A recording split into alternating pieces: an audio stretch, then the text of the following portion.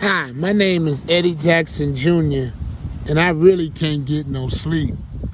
This is real true street crime. And let me just tell you this I was sitting here on the beach this morning thinking about one of the first times I went to New York, and Brother Brown was there, and I needed some weed. He took me down on 111th in Harlem, right across from Central Park. It was the hottest weed spot in New York at the time. They used to serve you when you go up to the apartment, it was like an abandoned project almost. And when you go up there, they used to stick the lock out to you, push the whole lock out. You put the money inside the lock and then tell them what you want, and they'll pull the money in and then stick the lock back out and give you what you wanted. That chocolate Thai was popular at the time. Buddha Cess was popular at the time. And I always loved hash. They always had some good ass hash. So they had that chocolate Thai, that Buddha Cess, and that bomb ass hash. And it was 24 hours a day. Whenever you get in town, just go up to 111th in Harlem. You couldn't miss it the block would be lined up with Hondas, Honda Accord. The whole block would have a whole block full of Honda Accord. This how the Rastas was running it at the time. See, the Rastas was running the weed on 111th in Harlem at the time, you understand? So at that particular time, as I say to you, the Rastas was running the 111th they had the whole block look like an abandoned apartment structure. I mean, look like the whole project. And you go up to the one particular apartment, 111th, get your motherfucking do it. I mean, I ain't never went there until they tore that shit down after Giuliani got in power. They fucked up 111. But it was a powerhouse pushing that lock out putting that money in there. Some of my fondest days sitting here thinking about New York. You understand? Running with Juice Brown. We get up and get fucked up right quick. That was my man. Now, I'm going to tell you. Brother Southfield over there Columbia couldn't stop going to fuck with him while he in class trying to learn something. You understand? Me and Juice Brown out there, two knuckleheads fucking with himself off. But as I said, I can't get no sleep. This is real true street crime.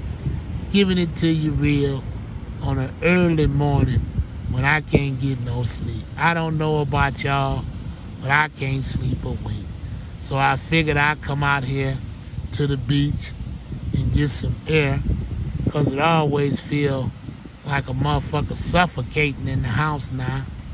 So, and as I had to always say to y'all, just talking and reminisce about the NY New York, one of my favorite places in the world. You understand, and had so much fun up there. Just reminiscing back on when Russell Simmons opened up Phat Farm in the village. I had to go to that and get me a Russell Simmons shirt, not a shirt, a sweater, because it was like wintertime Phat Farm, the first one that ever opened. I had to go to it. It was in the village. And get me a rug. I still got that sweater. One day I wear it for y'all. But I was a huge fan of NY and I love Spike Lee. I used to always go over to Brooklyn to go to his little shop and buy Spike Lee attire, 40 acres and a mule. Loved it. Spent a fortune over there in Brooklyn at 40 acres and a mule and hated to see when it closed, you understand? Big Spike Lee fan, and as I always say, this is real true street crime. I can't sleep, so I figured I'd come out to the beach for a minute this morning and give you another little bird's eye view of it. Here it is on this wonderful morning. So I figured I'd give you a sight. Maybe if you don't like I won't give it to you anymore, but generally, if you do, I'll come out and give you a little view. Ain't gonna be no real sunrise this morning because all the clouds in the way.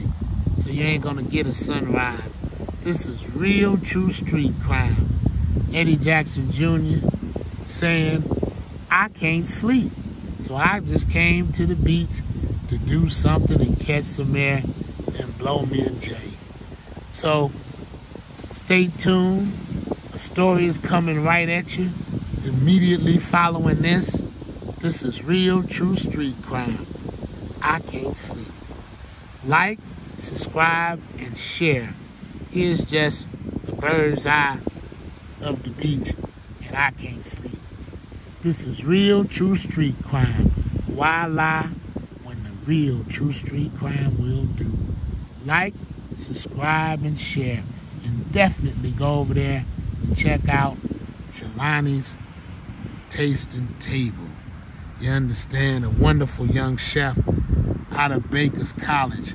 Check out that 420 cooking and get you some of that 420, them wings and them fish tacos. And definitely check out that sauce that go with it, you understand? 420 Cooking's Finest. Jelani's Tasting Table. Over there, check him out. Just giving you a little eye on the beach this morning, how it look. This is real true street crime. Subscribe, share, and definitely like. I'm out, and before I go, I have to always tell you all, go over there to Spotify and check us out on Spotify. Crime Town, Kingpin's Kids, Ron Give Valley, Eddie Jackson, Crime Town, Spotify. And I'm going to be seeing a lot of you all. Peace, love, and share and like. Thumbs up. I'm out.